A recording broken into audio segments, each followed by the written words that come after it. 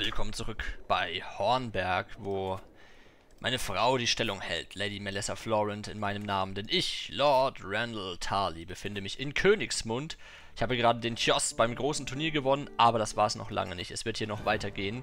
Es werden noch mehrere Wettkämpfe auf uns warten. Es wird also ein Bericht des Wettkampfes werden.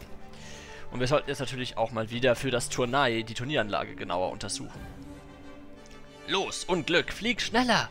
Höre ich die Stimme eines Mannes über das Gelände hallen. Ich blicke auf und sehe ein kleines Ding, das wie ein winziger schwarzer Blitz über den Himmel zuckt. Bald darauf stürzt es auf eine Ziellinie zu. Pah! Ihr habt geschummelt! Euer Vogel kann nicht so schnell fliegen! Seht ihn dir euch doch an, es ist so schwer wie ein Stein, schreit der wütende Verlierer. Hm. Doppelt oder nichts, noch einmal.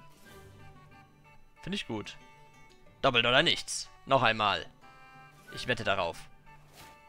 Ihr gewinnt die Wette. 20 Gold. Sehr schön. Das, dann nimmt man doch gern diesen Leuten ihr Geld ab. Mit diesen Wetten. Die Punkte von Lord Ronald steigen. Teilnahmegebühr. Huh. Nur gut, wir werden mal wieder ein bisschen Demut zeigen. So kurz vor Sonnenuntergang ist der Platz um das Gotteshaus, die Septe menschenleer. Ich höre ein Rascheln in den Blättern und sehe den Umriss eines kleinen Tieres, das zwischen den Grabsteinen umherläuft. Bei einigen der Steine sind die Gravuren schon fast verschwunden, bei anderen deutlich lesbar. Ich trete einen Schritt an sie heran. Wenn meine Stunde schlägt, werde ich an einem besseren Ort zur Ruhe gebettet sein als hier. Ich frage mich, ob ich einen meiner Vorfahren finden kann. Ja. Ihr findet einen Ahnen in den Krypten. Ein Tali. Einer meiner Ahnen liegt hier in Königsmund also begraben. Sehr interessant. Tatsächlich könnten wir die Chance mal nutzen. Haben die Talis einen Stammbaum? Ja, tatsächlich. Oh, es, ich hatte einen Bruder, der ist verstorben. Wie starb er denn mit 23 Jahren? Wurde von König Robert, der König der Würfel, ah, in einem Duell erschlagen. Ach du Schande, okay dann sind wir vielleicht gar nicht so positiv gegenüber König Robert zu sprechen. Unser Vater war König Talbert Tali, natürlich TT. Aha, auch ein sehr großer, fähiger Taktiker. Lord Samuel, Samuel, Samuel Tali. Der war eher tatsächlich äh, ein flüchtiger Schatten. Mit wem war er eigentlich verheiratet? Halt. Ah ne, hier war noch Lord Samson, den habe ich übersehen. Zu ihm gibt es aber keine Infos. Äh, Malora Aschfurt. Und Talbert war verheiratet mit Corenna, einer Niedergeborenen. Okay. Dann haben wir hier Lord Dar äh, Daryl. Daryl. Verheiratet mit Oranei Florent. Also das, da, da war schon mal eine Florent. Also die Florents haben es den Talis wohl angetan. Mirilla Tali. Obstheinweg. Palatali. Weidmann. Lord Donald wurde 77 Jahre alt. Und er ist sogar 79. 56, 47. Die, die hier wurden alle älter. Haha. Der war nicht so richtig gut. Lord Allen. Der starb auf irgendwie besondere Art und Weise. Wurde in einer Schlacht erschlagen am 10. Äh, des 10. Mondes. 159 nach Aegons Eroberung. Hm, interessant. Und dann haben wir noch Lord Donald. Der wurde 47. Wie starb er denn? Unbekannter Ursache. Verheiratet mit einem mit dem Haus Ash. Die sind auch sehr mächtig. Geht's hier noch weiter? Ja, der Vater von Lord Donald war Lord Dickon. Also einer meiner Vorfahren. Den habe ich jetzt hier vielleicht gefunden in Königsmund. Dickon Tali. Der starb 110 nach Aegons Eroberung. 64 nach Aegons Eroberung war er geboren worden. Ne? Jetzt nähern wir uns langsam unseren Vorfahren, die bei Aegons Eroberung schon anwesend waren. Lord Alistair. Mhm. Der wurde 45 nach Aegons Eroberung geboren.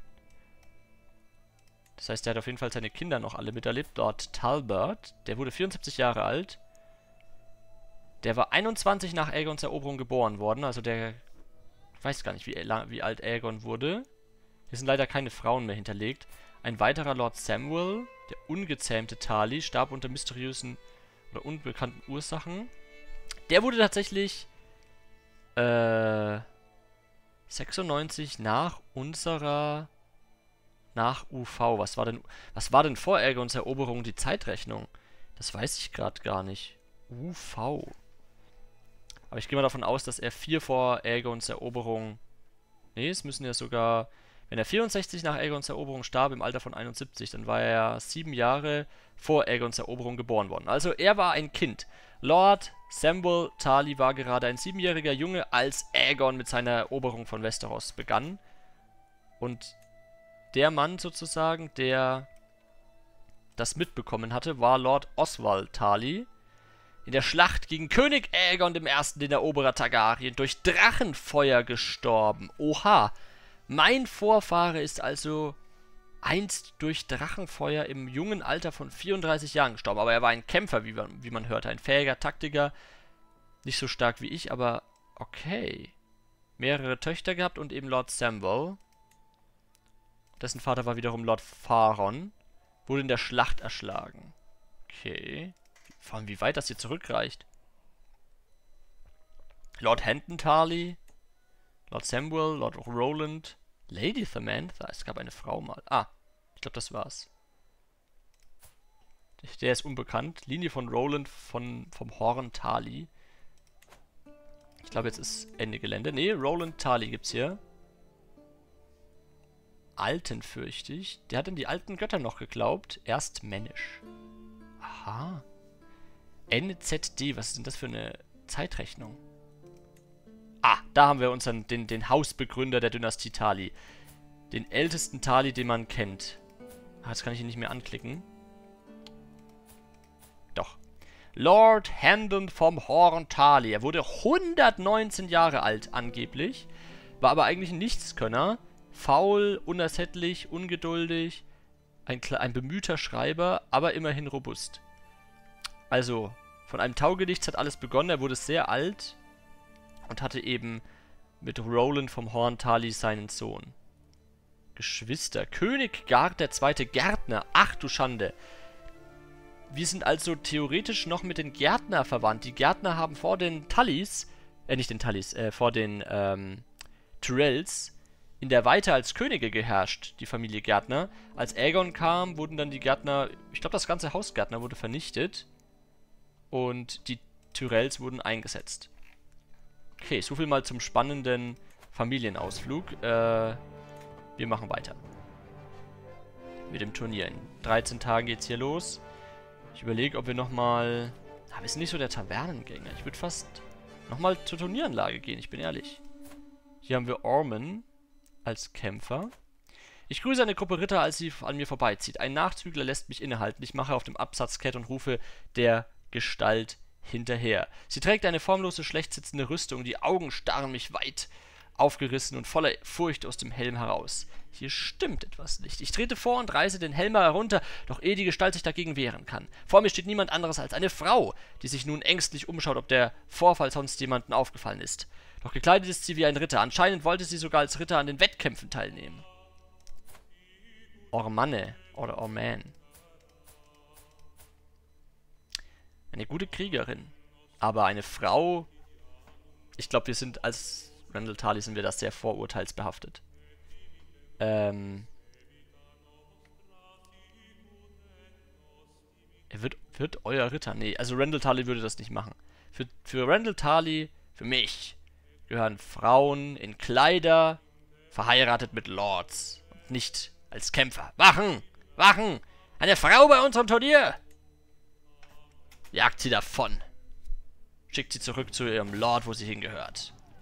Das Turnier beginnt. Zwischen den beiden Mannschaften wurde eine klare Grenze gezogen. Sie stehen einander gegenüber und verhöhnen sich wechselseitig, während sie ihre Ausrüstung überprüfen und Pläne flüstern. Im Hintergrund werden die Pferde vorbereitet, die wiehern und schnauben. Es wird ein Tag voller brutaler Vernichtung werden. Meine Mannschaft wird die Bande von Aufschneidern und unter Lord Hugo mit Sicherheit besiegen. Bin ich der Anführer auf unserer Seite, Lord Randall Tarly? Lord Hugo Grandison. Wieso gibt es hier nicht mal ein paar bekannte Namen, Mensch? Nimmt keiner denn sonst teil? Ich denke, wir werden weiterhin auf Triumph spielen. Der Ruhm wird unser sein. Auf geht's. Auf Visenias Hügel. Das Turnai tobt und beäupelt mich schwer. Ich werde hin und her geschleudert, während ich versuche, so gut auszuteilen, wie ich einstecken muss. Schwerter fahren durch Rüstungen, Speere prallen klirrend an den Buckeln von Schildern ab. Einer dieser Waffen saugt, saust in mein Sichtfeld, der Hieb zielt auf meinen Kopf. Ich schaffe es gerade noch ihm entgegen, indem ich ihn mit meiner eigenen Waffe umlenke. Ein glücklicher Ausgang. Ich drehe mich um und will zum Gegenschlag ausholen, als mir auffällt, dass mir meine Waffe aus der Hand geschlagen wurde. Sie ist im Staub gelandet, wo sie nun von den angestrengten Kompatenten äh, mal hierhin, mal dorthin getreten wird. So, das ist ja Herzbann, unser Schwert, unser ähm, Schwert aus illyrisch, äh, valyrischem Stahl. Herzbann ist das angestammte valyrische Stahlschwert des Haus Tali. Es ist ein zweihändiges Großschwert, das sich seit 300 Jahren vor Aegons Eroberung im Besitz der stolzen Marschlords befindet. Nicht schlecht. Äh, ihr holt sie euch erfolgreich wieder. Die Waffe wird noch weiter weggetreten. Ja, das versuchen wir auf jeden Fall. Ah, meine Waffe! Herzbann! Ha, wir haben sie. Ich habe sie wieder. Niemals werde ich dieses Stück unserer Familiengeschichte im Staub lassen. So. Nach einem Passierangriff auf einen Gegner zügle ich mein Pferd und stürze wieder ins Getümmel. Als ich mich nähere, stürzt eine Gestalt von einem Reittier überrumpelt von einem Schlag eines Gegners hinter ihr. Scheinbar unverletzt schaut sich Dagon gehetzt nach seinem Reittier um, doch es ist aufgeschreckt durch den Lärm längst weg. Ich nähere mich ganz vergessen von seinen Notlagen. Äh, ganz versessen auf seine Notlage. Aus dem Sattel sieht er so klein aus, so wehrlos. Ein Außenstehender würde vielleicht sagen, dass es nicht ehrenhaft ist, doch mitten im Getümmel gibt es nur wenig Ehre. Braucht ihr Hilfe? Was? So sei es, Hussar. Wir werden das angemessen klären zu Fuß. Ja, das passt doch zu Tali. Wir haben schon so viel Tapferkeit und Gerechtigkeit, dass wir ihn jetzt nicht einfach niederreiten, sondern wir werden das angemessen klären. Zu Fuß nämlich. Ich steige ab. Nehmt eure Waffe, Dagon. Wir kämpfen jetzt. Ha! Und ich gewinne. Ich setze mich im Duell gegen ihn durch. Kleine Märchen. Bei einem Sportereignis in einer Menschenmenge zu sein, kann ein wahrer Genuss sein. Die Atmosphäre, der Klang und alles, was es zu sehen gibt. Das einzige Abträgliche ist, dass es manchmal genauso viele Nachteile wie Vorteile mit sich bringt. Ein solcher Nachteil ist gerade eingetreten, als ich mich hinter einem hohen und breiten Wuchs von Jonos gefangen sehe. Ich lehne mich erst in die eine, dann in die andere Richtung, doch seine schiere Größe verdeckt meine Sicht fast vollständig. Ich seufze laut und wippe mit dem Fuß. Jonos rührt sich nicht. Jubel ertönt, als etwas Großes und Aufregendes geschieht. Meine Wut steigt. Aber ich kämpfe doch mit. Ich bin doch nicht bei den Zuschauern. Ihr werdet euch niederknien lassen, damit ich endlich etwas sehen kann. Ihr, ihr erhaltet die Eigenschaft verwundet. Was? Kommt einer Rivalität mit Lord Jonas näher. Könnt ihr bitte zur Seite treten? Nicht so wichtig. Hier, könnt ihr bitte zur Seite treten? Er lehnt ab. Ganz toll. Dann eben nicht. Die Schatten werden mit jeder andauernden Minute des Kampfes länger und länger, während das Getümmel mit jedem davon hinkenden Teilnehmer schrumpft. Während ich mein Pferd antreibe, denke ich an die bisherigen Ereignisse zurück. Zum Beispiel daran, als ich durch das Turnier galoppierte und sah, wie andere von ihren Pferden fielen. Die Ereignisse spitzen sich zu. Jetzt ist die Gelegenheit, diesen Wettbewerb meinem Stempel aufzudrücken. Ich werde einen Sieger ringen, der eines Soldaten würdig ist. Folgt mir zum Sieg. Vielleicht werden wir hier sie herlocken. Ne, wir machen das. Ich werde einen Sieger ringen, der eines Soldaten würdig ist. Der finale Schlag. Was die List angeht, so war das nicht gerade meine beste. Verdammt. Sowohl ich, obwohl ich unsere Lage nicht als verheerend bezeichnen würde, könnte die gegnerische Mannschaft, die unser Zentrum durchstößt und sich auf unsere ungeschützte Lager zubewegt, durch den Todesstoß für unsere Siegesaussichten bedeuten. Den Todesstoß bedeuten. Ja, es ist fast unmöglich zu sagen, welche Seite sich am ehesten durchsetzen wird. Es ist doch alles möglich. Ich kann sehen, wie die Herolde beginnen auf das Feld zu kommen, um das Ende der Veranstaltung anzukündigen. Bald ist es vorbei. Die letzten Meter. Vorwärts, Männer. Vorwärts. Auf in den Kampf.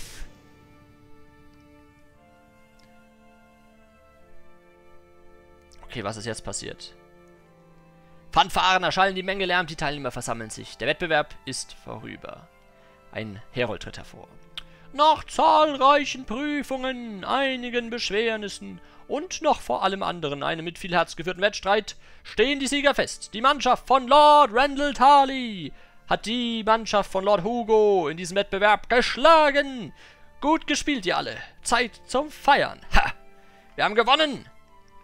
Wir sind Turneisieger. Kriegsführung plus 3. Oha. Sehr schön. Ausgezeichnet, ausgezeichnet. Als nächstes gibt es den Ringkampf. Ich würde sagen, jetzt können wir doch mal ein bisschen feiern. Wir gehen in die Taverne. Kommt. Ich bin jetzt nicht der feste Feierer, aber jetzt einen guten Schluck. Machen wir. Das örtliche Gasthaus ist voll bis unter die Decke. Wie es nicht anders zu erwarten ist, wenn ein Turnier in Königsmund stattfindet.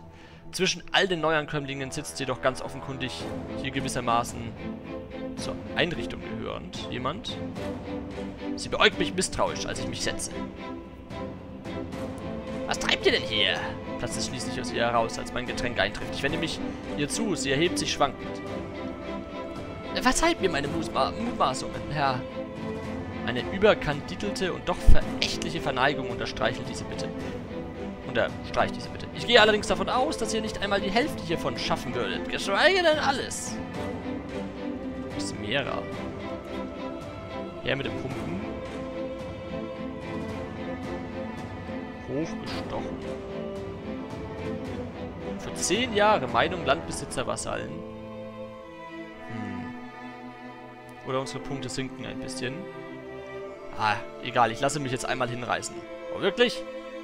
Ich krieg das hin. Her mit dem Humpen. Ah, verdammt. Unsere Punkte sinken stark. Oh, oh. Jetzt müssen wir uns mal noch irgendwie qualifizieren. Sonst sind wir beim Ringkampf leider nicht dabei. Ich muss nur einmal die Musik ein bisschen leiser machen. Das ist leider so, dass die Musik der Mod immer viel lauter wird als die eigentliche Musik. So, und jetzt ist es nämlich wieder weg. Jetzt kann ich wieder lauter machen. Ich will ja euch eigentlich die schöne Game of Thrones Musik hören lassen, aber das ist noch so ein kleiner Nachteil. Aber zurück zum Turnier.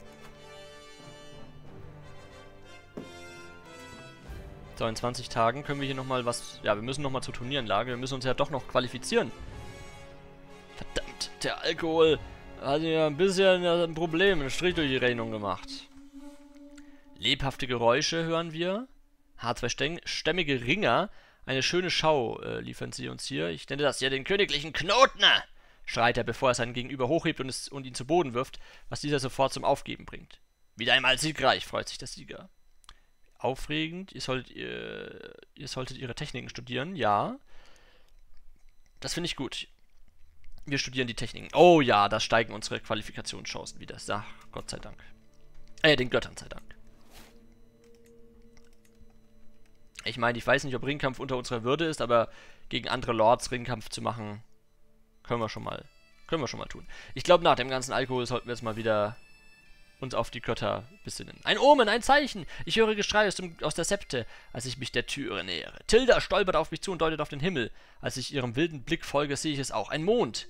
Da ist noch ein Mond. Ich habe in den alten Archiven davon gelesen, fährt sie fort. Er kündigt etwas an, doch was? Hm. Mein Sieg? Abergläubisch. Das Leben dieser Charaktere wird von einem Glauben daran bestimmt, dass es übernatürliche Einflüsse gibt. Tja. Sind wir... Werden wir abergläubisch? Monde stehen für Reichtum. Nein. Die perfekten Umrisse zweier Enthaupteter. Das bedeutet gar nichts. Ich weiß nicht. Ich glaube, Randall Tali ist schon ein logisch denkender Mensch. Nee, das bedeutet nichts. So, er ist nicht so abergläubisch. Er glaubt an die Götter, aber jetzt nicht so stark. Lord Robin bezahlt 5 Gold an König Robert. Ja, wann, wann treffen wir mal auf König Robert eigentlich? So, der Ringkampf beginnt. Rings um uns herum rings um den Sand wärmen sich die Teilnehmer mit nackten Oberkörpern für ihre Kämpfe auf, während der Herold den Beginn des Wettkampfs verkündet. Einige der Wettkämpfer reiben sich mit Erde ein, andere entscheiden sich für Öle, alle auf der Suche nach einem knappen Vorteil in den kommenden Kämpfen. Die Qualifikationsrunde ist zu Ende und es ist klar, wer ins Viertelfinale kommt. Der Gegner für meine erste Paarung steht fest, mein Mitteilnehmer Lord Baelor aus dem Hause Rolfurt. Der Fluss fließt stets weiter. Was für ein Name für die Familie. Äh, ich habe eine Wette zu platzieren. Hm. Ja. Ah, wir können nicht viel Geld gewinnen. Ah, komm, egal. Wir setzen auf uns selbst. So, ein wilder Schulterstoß von Balor kracht mir in den Brustkorb und ich gehe zu Boden. Doch er setzt nicht mit einem Haltegriff nach und das durchaus aus gutem Grund, da meine Faust genau dort blitzschnell durch die Luft zaust, wo sonst sein Kopf gewesen wäre. Das Abtasten in diesem Kampf ist ganz offenkundig vorbei. Wir kreisen umeinander vorsichtig. Baylor zeigt den Anflug eines gerissenen Grinsens. Er ist die Ruhe vor dem Sturm und ein schlauer Ringer nutzt diese Augenblicke, um sich eine Strategie zurechtzulegen. Konzentrieren wir uns auf den Schwitzkasten. Oder arbeiten wir lieber mit Körpergriffen? 77% Chance, 66. Ich würde sagen, bringen wir ihn einfach zu Boden. Das ist sogar eine 88%ige Chance. Hm. Hier könnten wir halt auch moderat... Wir arbeiten mit Körpergriffen. Es klappt einigermaßen gut. Naja, immerhin. Die Menge verlangt nach Blut, als ich nach vorne taumle, um mich meinem Gegner erneut zu stellen. Ich wische mir ein rotes Rinnsal von der Stirn und denke über den bisherigen Kampf nach. Der Kampf ist so knapp, so knapp. Ein Fehler von meiner Seite könnte den Kampf sofort beenden. Diese Leber sieht verletzlich aus. Ich glaube, das ist die beste Chance, die Leber. Vorwärts, ich schlag zu!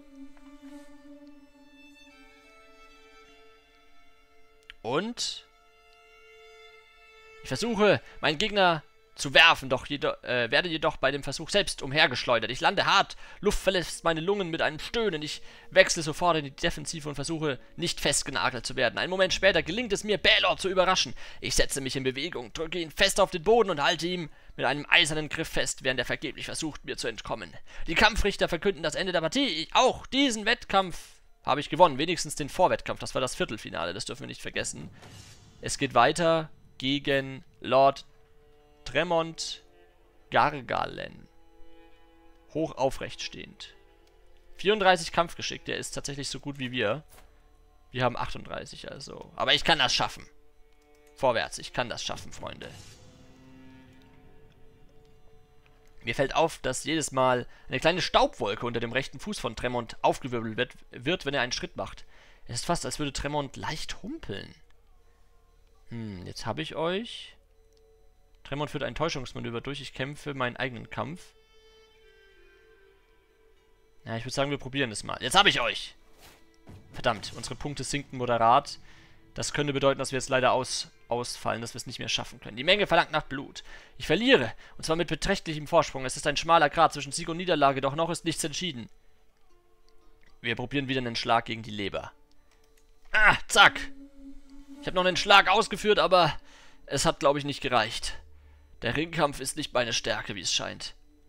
Eine Hand auf seiner Schulter, ein geschickter Tritt und ein gewaltiger Stoß. Wir fallen zu Boden. Alles, was zu hören ist, ist mühsames Atmen. Und weiter weg das Brüllen der Menge. Ich klettere auf meinem Kontrahenten und versuche, meinen Vorteil zu nutzen. Wenige Augenblicke später überrascht mich Tremont. Als ich vergeblich versuche, Halt zu finden, wirft er mich mit voller Wucht davon, sodass ich aus dem Ring in den Dreck stürze. Die Kampfrichter verkünden das Ende der Partie. Ich habe leider verloren. Schade. Godfrey und Ryman sind im Halbfinale. 42 Kampfgeschick, das ist wieder Godfrey Lux. Gegen den haben wir schon mal gewonnen. Und Lord Ryman, der Lord der Würfelrin. Haus Lux, die Gerechtigkeit des Vaters ist für uns der Hammer. Haus Rin, bei Heldenmut und Liebe. Ein feiner Wettbewerb. Lord Godfrey schlug Lord, Lord Ryman. Ach, ich darf doch nochmal ins Finale? Nee. Ich stehe nur daneben. Lord Tremont 34 Kampfgeschick und Lord Godfrey 42 Kampfgeschick. Eine interessante Runde. Und wer gewinnt? Lord Tremont wird Lord Godfrey gegenübertreten. Und? Wer ist der Sieger des Ringkampfes? Na? Unentschieden? Eine Hand auf seiner Schulter ein geschickter Tritt und ein gewaltiger Stoß. Sie fallen zu Boden. Der Kampf zwischen Lord Godfrey und Lord Tremont ist entschieden. Nach einem unbefriedigenden einseitigen Kampf zeigt sich niemand über den Ausgang überrascht. Godfrey erzielt einen klaren Schultersieg gegen Tremont. Dies bedeutet, dass Godfrey den Wettbewerb gewonnen hat. Feiner Wettbewerb. Lord Godfrey hat also den Ringkampf gewonnen. Gut. Nächstes Mal muss ich mich mehr anstrengen. Es gibt immer ein nächstes Mal. Wir haben die 10 Goldwette verloren, aber das ist ja nicht allzu schlimm. Als nächstes steht das Duell an. Da sollte ich dann diesmal nicht mehr in die Taverne gehen, sondern wirklich die Turnieranlage nochmal mir anschauen. Ha! Turnieranlage ausgelassene Stimmung. Essen und Trinken gibt es während des Turniers zur Freude der Teilnehmer reichlich und drei Bauern scheinen sich etwas zu teilen, was wie ein ganzes Fass Würzwein ausschaut. Ist das dornischer Fusel oder ist das der gute Wein vom Arbor? Nimm das, Kirchenjunge, lallt einer der Betrunkenen und wirft schlaff seinen Becher auf den Menschen neben sich. Gilbert, Entschuldigung, Alter. Das Opfer hält die Hand vors Gesicht und wehrt den Angriff ab. Helft mir, Robin! Ihr seid auf euch allein gestellt, Mason, ruft der Letzte und stürzt einen ganzen Becher in einem Schluck die Kehle hinunter. Äh, ich glaube, wir wollen uns da eigentlich nicht einmischen, ne? Äh, huh. Sie sind sturzbetrunken, es sollte ein leichtes sein, sie anzustacheln. Widerwärtig. Äh, ein fieser Kater, aber nur 10% Chance. Wir haben auch 20% Chance, dass es leicht steigt. Ich setze mich doch zu einem Becher Würzwein dazu. Verdammt, wir werden betrunken. Ah, ein fieser Kater für drei Monate. Wie ärgerlich. Und ich dachte, wir hätten gelernt aus dieser ganzen Alkoholgeschichte. Na gut. Dann äh, sind wir ein bisschen betrunken. Und vielleicht sehe ich ja König Robert und kann ihm noch heimzahlen, dass er meinen Bruder in der Schlacht im Duell getötet hat. Ja, vielleicht fordere ich dem König zum Duell hinaus. Aber mehr dazu beim nächsten Mal, beim nächsten Bericht von Lord Randall Tarley. Und wie immer, wenn es euch gefällt, lasst ein Like da, abonniert den Kanal und schaut auch gerne in mein Let's Play mit Lord Peter Baelish hinein.